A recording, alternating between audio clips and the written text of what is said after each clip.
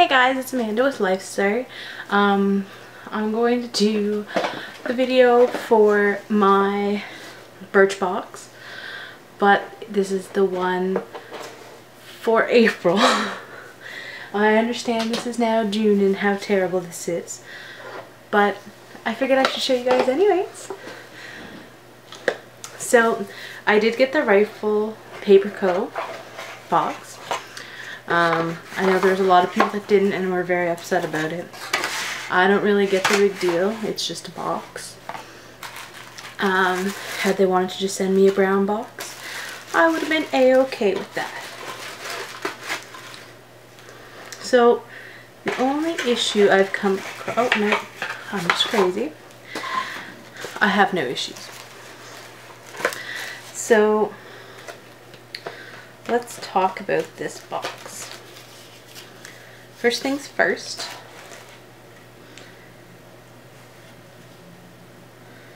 is the Benefit Roller Lash.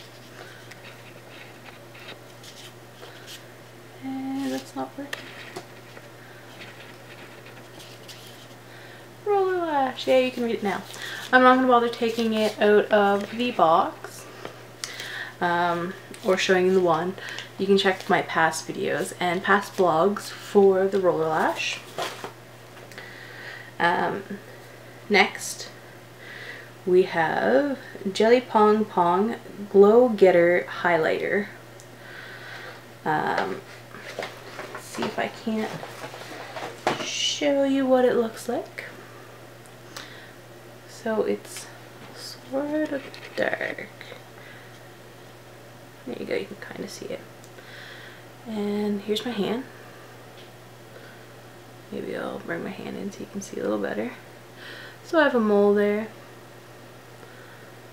And there's a little glob of it. As you can see, the color covers up my mole.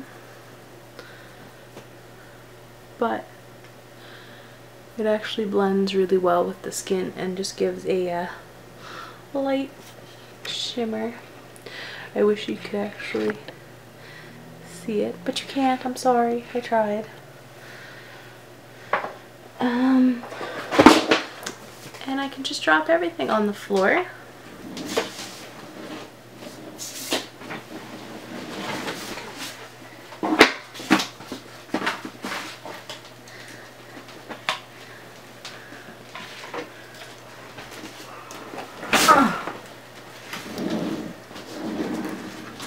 And now back to our regular scheduled programming. Next on the list is the Mere Adesso all-in-one moisturizer. I hope that's how you pronounce it. I'm not really good with these names. I need to hear it once before I'm able to actually you know, figure out if it's right or not. Um,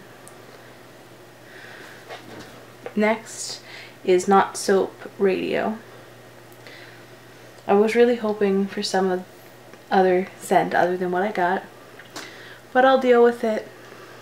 Um, it's Bathing with Sharks for that competitive edge in work and or play. Um, I don't have a real issue with this outside of I find it smells more like a boy's body wash. But to each their own.